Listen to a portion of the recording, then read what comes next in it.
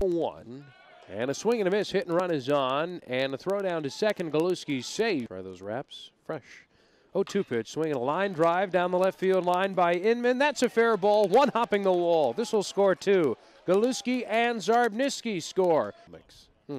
Runner from first off. The pitch is outside. Throw down is way off the mark from Bag and score the game's second run for West Virginia. Now swings and bangs one up the middle. It's a base hit. Coming around third is Doanes. Center fielder Burlingame. His throw goes running from first. Galusky. A strike inside corner. Throw down from the catcher is one hopped into the outfield. Galusky up from second and on to third.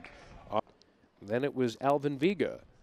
Next pitch is banged in the air, right center. This will split the gap, and this will score a pair of runs. Doanes hitting second on his way to third. Here comes the relay throw into third, not in time. Manoah into the wind, and here's the one-two pitch. Swinging a comebacker to the mound, glove by Manoah. He's going to take it to the bag himself, and West Virginia will win it by seven over Canisius. Back to 500.